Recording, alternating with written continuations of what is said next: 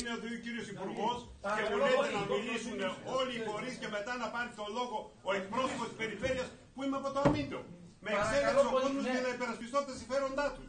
Ε, Και ε, μου μα το- είναι ο μου- ίδιος με ο κόσμος θυμώνετε. εδώ.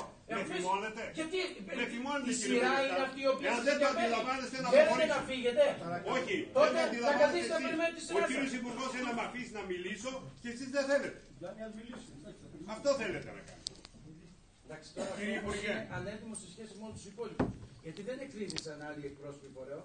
Δεν χρειάζεται να Εκκρίθηκαν κρυθώ μόνο σε μια οι άμεσοι δημόσια, φορείς. σε μια Ωραία, δημόσια κύριε συνεδρίαση Άση, που είναι πάρτε το παθιάνει λόγο, τιμή έχετε να δύο παρήσει λεπτά. ο κύριος Υπουργός. Ωραία.